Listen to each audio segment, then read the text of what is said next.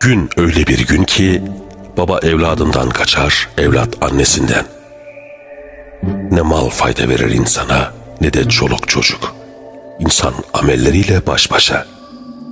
Gün öyle bir gün ki mahşer gibi değil, mahşerin ta kendisi. Her insanın mutlaka göreceği, yaşayacağı bir gün. O gün ile aramızda sadece ölüm var. Anlatan Hazreti Peygamber sallallahu aleyhi ve sellem. Allah mahşer günü öncekileri ve sonrakileri tek bir düzlükte toplar. Bakan onlara bakar, çağıran onları işitir. Güneş onlara yaklaşır.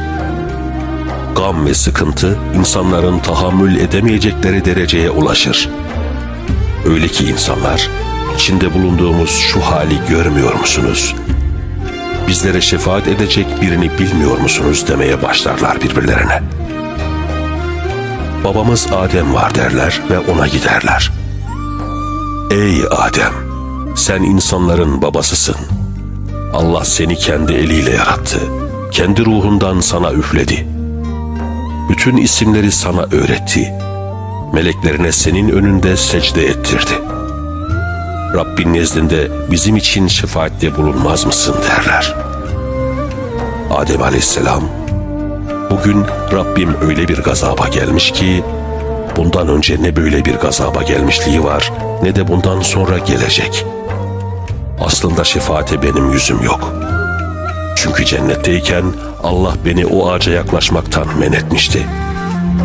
Ben bu yasağa asi oldum.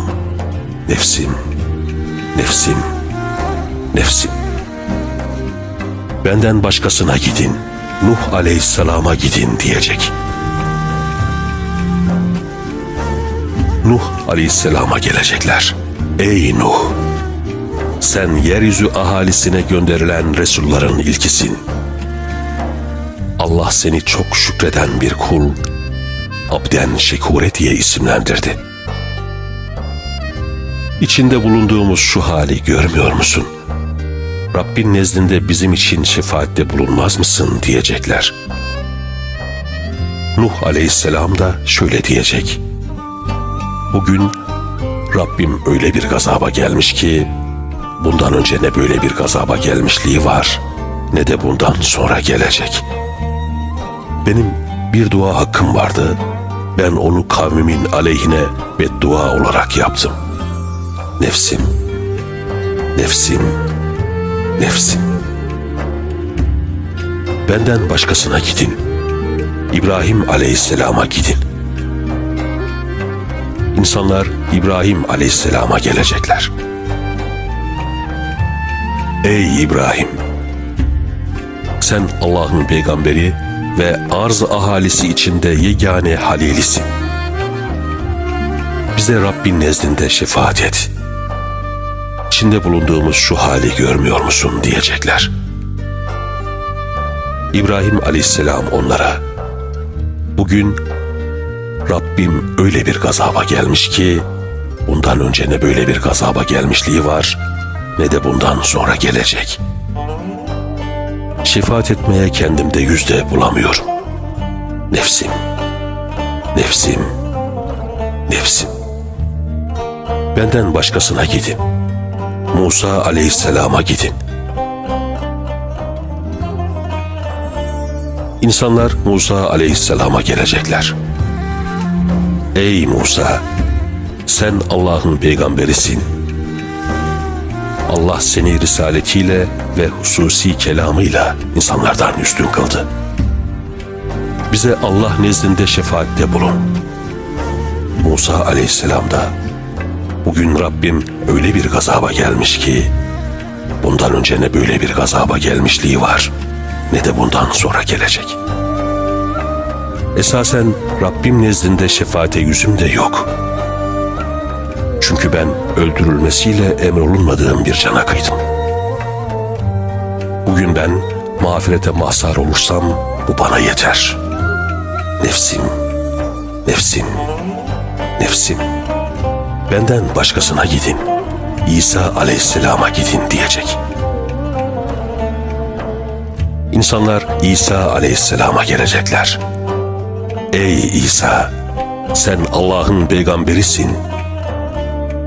Meyrem'e attığı bir kelamısın. Ve kendinden bir ruhsun. Üstelik sen beşikteyken insanlarla konuşmuştun. Rabbim nezdinde bize şefaat et.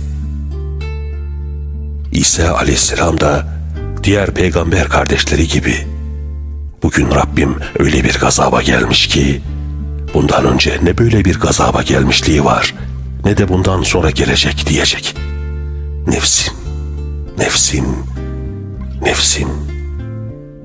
Benden başkasına gidin. Muhammed Aleyhisselam'a gidin diyecek. Ve insanlar bana gelecekler. Ey Muhammed! Sen Allah'ın peygamberisin. Bütün peygamberlerin sonuncususun. Allah senin geçmiş gelecek bütün günahlarını mağfiret buyurdu. Bize Rabbin nezdinde şefaatte bulun, şu içinde bulunduğumuz hali görmüyor musun diyecekler. Bunun üzerine ben arşın altına gideceğim. Rabbim için secdeye kapanacağım derken Allah, benden önce hiç kimse için açmadığı methu senaları benim için açacak.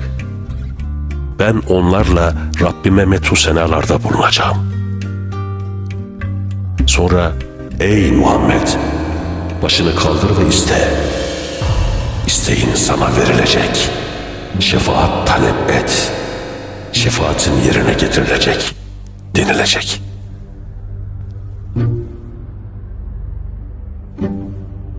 Ben de başımı kaldıracağım.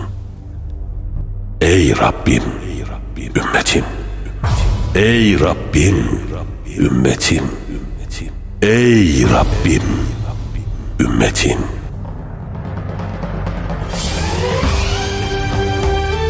Ey Muhammed denilecek.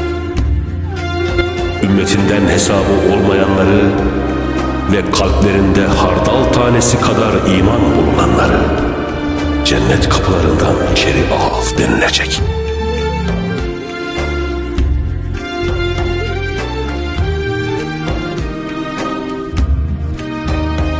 Gün öyle bir gün ki baba evladından kaçar, evlat annesinden. Ne mal fayda verir insana ne de çoluk çocuk. İnsan amelleriyle baş başa. Gün öyle bir gün ki mahşer gibi değil. Mahşerin ta kendisi. Her insanın mutlaka göreceği, yaşayacağı bir gün. O gün ile aramızda sadece ölüm var.''